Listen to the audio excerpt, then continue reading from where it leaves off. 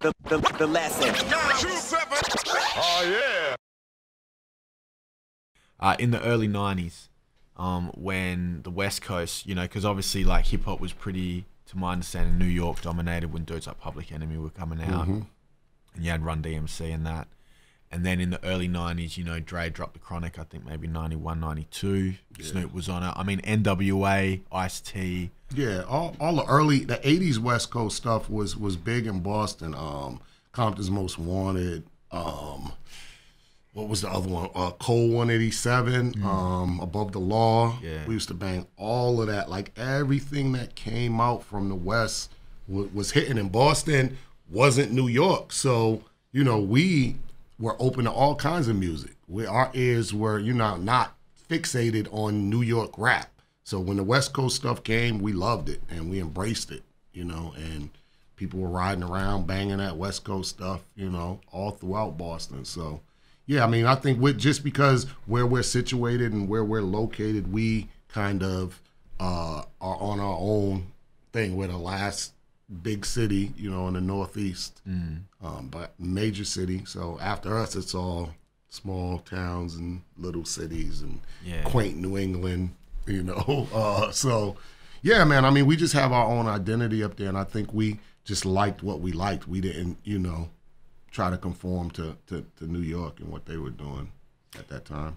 Now, how did that change at all when you know in the mid '90s? I know that you know it was a situation obviously between Pac and Big, or Yeah. Death Row and Bad Boy, which is more you know New York, but then it turned into West Coast, East, Coast. yeah. It turned. It was that was a bad time. I mean, just traveling to the West, the people were, you know, just a little leery because you never knew it could be anybody that just wanted to get a rep.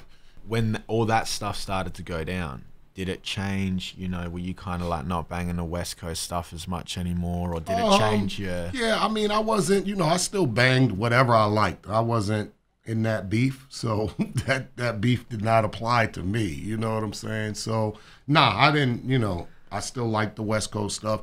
You know, I like Pac. Uh, I really wasn't a super huge Pac fan, like on every song and you know everything like that. So, you know, I continued to do what I did. I, I was out in Cali plenty of times, you know, during all of that stuff. And, you know, nothing with me because it's just what you give out is what you get back. You know, if you push out that positivity, you don't really have to worry about anything wherever you go. You know what I'm saying? So, um, didn't really affect me, but it did affect just hip hop in general. You know what I mean? People were on edge. You know what I mean? It was a it was a kind of crazy time.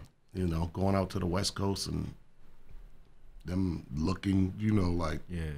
because you East Coast people look different than West Coast people. We dress different. We wear different, you know, and so you can automatically tell. You know what I'm saying? But none for me, really, man. I'm, you know, I'm I'm neutral. I'm Switzerland in the rap game. The, the, the lesson. Oh yeah.